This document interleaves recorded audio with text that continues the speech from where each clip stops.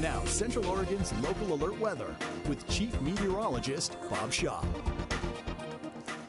Well, good Tuesday morning. It is 18 minutes before the hour and waking up to a fairly pleasant morning. Some areas south of Bend have already seen a few scattered showers this morning, and it looks like we all get a chance at seeing some of that. Uh, we have watched our clouds thicken just a bit here this morning, but the temperatures have stayed mild. It's 59 degrees at the Bend Airport, and uh, about an hour ago we had a very light breeze here at the Bend Airport Airport, it has gone calm. So has the light breeze at the Redmond Airport. A little more sunshine uh, right now at the Redmond Airport, and it's 59 degrees there as well.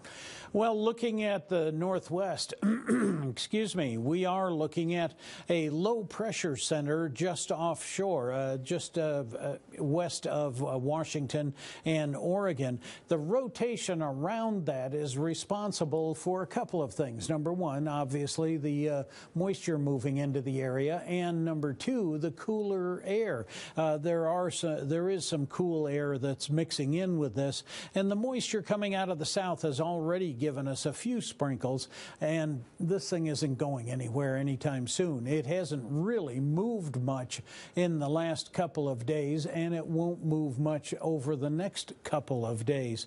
We will see a little shift in the airflow pattern here in central Oregon as we get into tomorrow.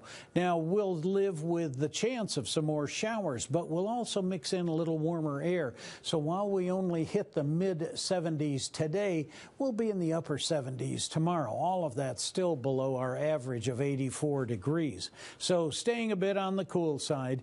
Currently, it's really mild everywhere around the state.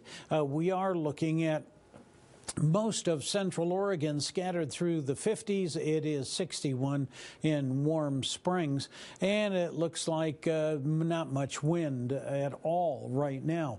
Later in the day, you'll see the breezes uh, turn more westerly. They'll pick up to a gentle 5 to 10 miles per hour, so probably not quite as windy as you saw yesterday.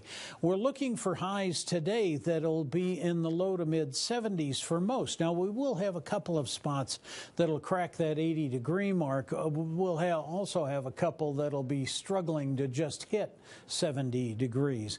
A mild night tonight, mid 40s to mid 50s, and uh, then a modest warm up tomorrow.